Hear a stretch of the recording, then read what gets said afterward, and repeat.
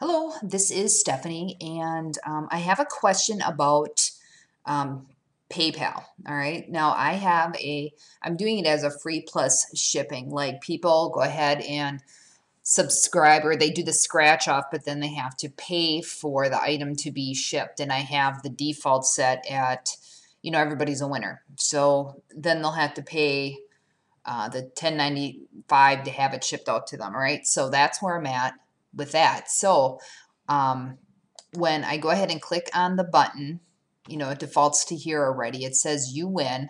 I hit proceed and then buy now. And it says things don't appear to be working at the moment. Please try again later. So I don't know if that is on my end or what what the deal is. So I went into edit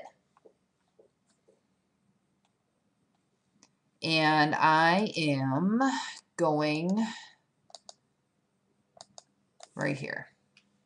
Okay. I went as far as getting the secret key in PayPal. I did that already. But is do I need this publishable key? Maybe that's what my problem is. And I went into PayPal and I Googled or I went into PayPal and I looked into their help desk and it doesn't say, say anything about a publishable key. So do I need that for one? Maybe that's why this whole thing isn't working. And maybe there's another term for it. So if you could go ahead and just shoot me a reply, I would greatly appreciate that. Thank you.